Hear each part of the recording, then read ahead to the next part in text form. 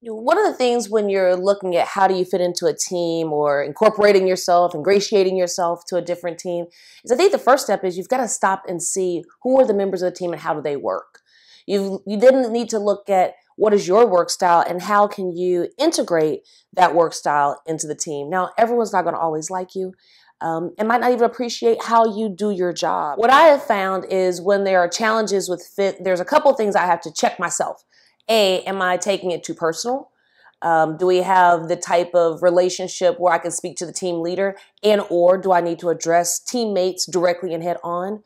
In the past, what I think I've done is is really thought, hey, adjust yourself, Jeri, adjust yourself, adjust yourself. But the truth of the matter is, I'm a part of this team because I bring a unique experience. And so not only is it about really adjusting yourself, it's really about identifying what your sweet spot or what your strength is, and then helping the other teammates to understand that.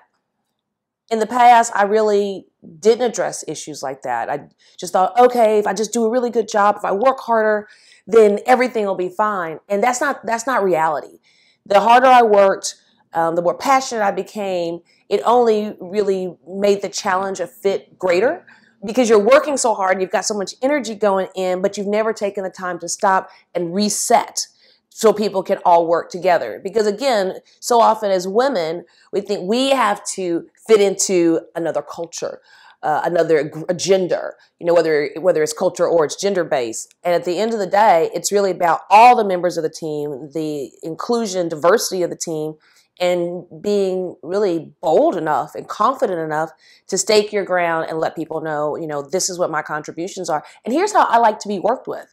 You don't have to be rude about it, but you do have to set standards and boundaries and have accountability behind those things, or it just simply is not going to be a good fit for the project, for the client, and or long-term relationships.